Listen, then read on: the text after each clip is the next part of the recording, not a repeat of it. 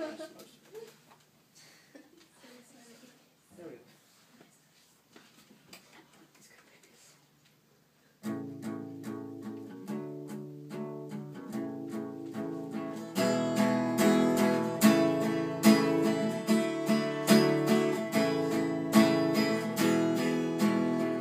seen some pretty weird things while sitting in geometry. But what I saw the other day would be proofs. And anyway.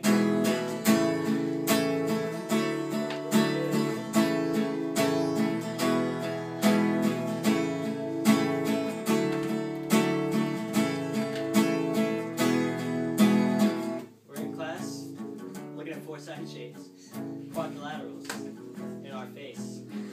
Scrania pointed to one and said, What do you see? We all asked, What do you mean?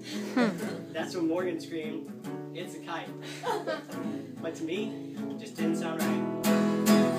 Miss Granier said, Yeah, but um, it could be a trapezium. Class wants to call it a kite, but I'll stick to my way of being right.